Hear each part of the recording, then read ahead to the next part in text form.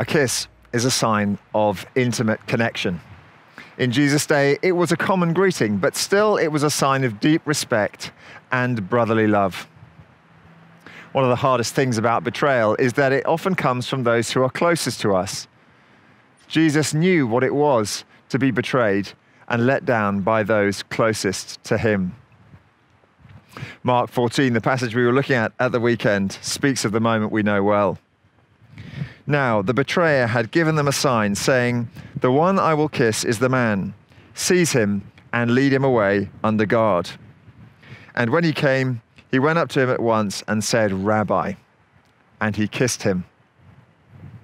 One of the paraphrases of the Bible puts the next bit wonderfully. Jesus says, Friend, why this charade? I said this is the famous moment of betrayal. Of course, when we step back, we realize that betrayal is kind of all over this passage, and it's not just with Judas. Isn't Peter, in a very obvious way, untrue to Christ when he denies him afterwards? And what about the rest of the disciples? Well, the end of the passage, verse 50, tells us they got up and ran away, they fled. The difference between Judas and the disciples is that those other disciples held out for Jesus on the other side. And Jesus, after his resurrection, came back to them. He welcomed them and he forgave them. And amazingly, they ended up the bedrock of his early church.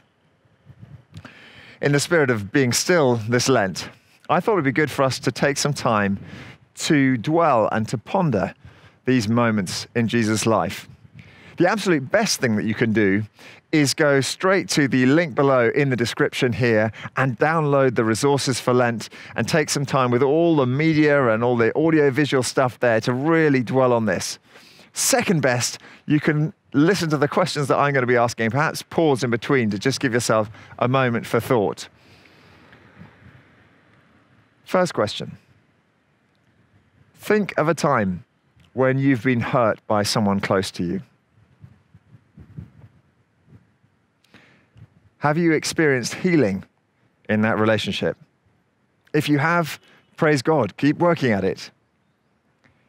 If you haven't, are you able to bring that relationship to the Lord in prayer?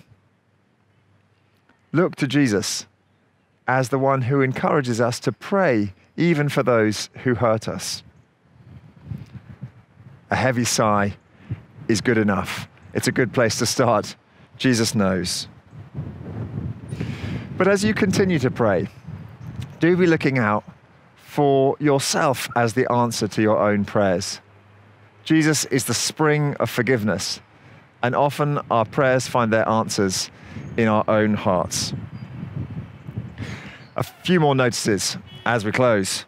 Number one, don't miss those excellent resources I mentioned earlier. We had a great time thinking about them last week. You'll find them both in the email that you've been sent here, in the description of this video, and also on our website to help us be still.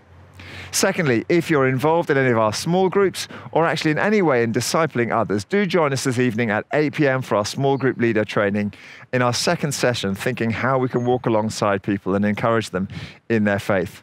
And thirdly, this Friday, we've got our second men's curry night on Zoom happening at 8 p.m. That begins. Do sign up uh, or contact Ben at emmanuelcroydon.org.uk for more information on that. Thank you for being with us.